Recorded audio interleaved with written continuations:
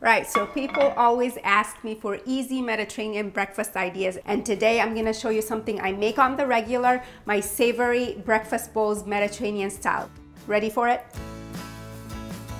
All right, we are starting with some boiled eggs. Now I like mine soft and jammy so they only take six minutes or so in boiling water, shock them in an ice bath and they are ready. You probably tried this trick on your forehead. No? It's like, ow! Okay, we won't do that. We're gonna just, we're gonna just go like this. So that's not a thing here, huh? People don't crack their eggs on their forehead. Beautiful eggs are ready. Now we're gonna go ahead and prep a few more ingredients. We have some mushrooms. So I'm just gonna half the mushrooms because I like them to be a good size so they can char nicely. Don't love mushrooms, you can use other things. You can use zucchini, you can use bell peppers, whatever. So let's go to the skillet and put this party together. Extra virgin olive oil, the start of everything delicious. Right, turn on the heat about medium high-ish.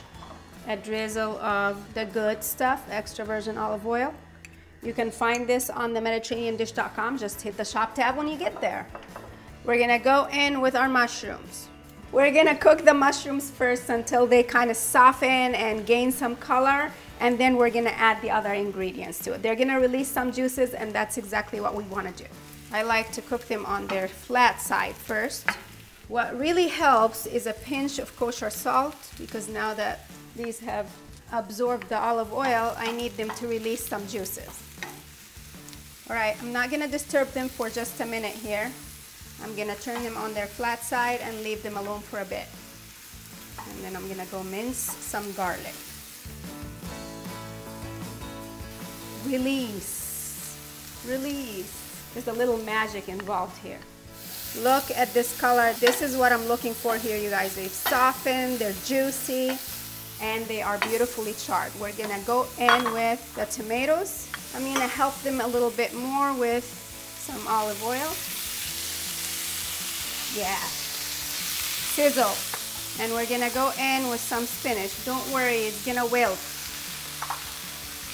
Going in with some garlic. And you didn't think I was gonna make this without garlic, did you? You know, because garlic, it's life, right? And by the way, remember that you can do this entire thing ahead of time and just save it in the fridge to assemble your bowls on the go whenever you need them. You can serve your breakfast bowls with no bread at all but for this family, we're gonna do a little bit of pita. Yes, I'm telling you, such good stuff. We are going to put this party together. So first, add in my hummus. Take a jammy egg. Ooh, yes. This is perfectly soft. Cook the eggs to your liking, and if you don't even like boiled eggs, you can make scrambled eggs, you can make whatever egg you like. Then we're gonna take some of this beautiful mixture and put that right here.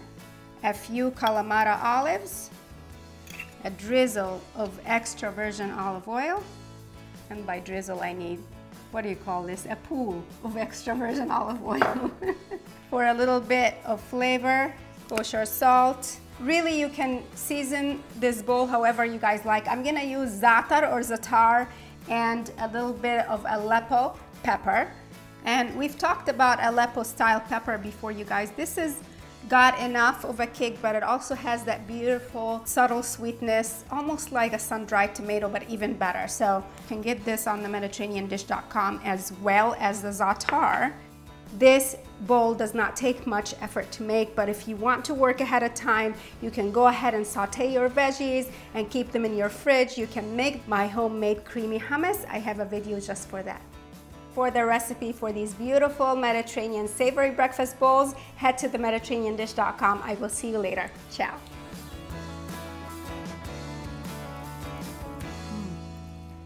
Do I have hummus all over my mouth?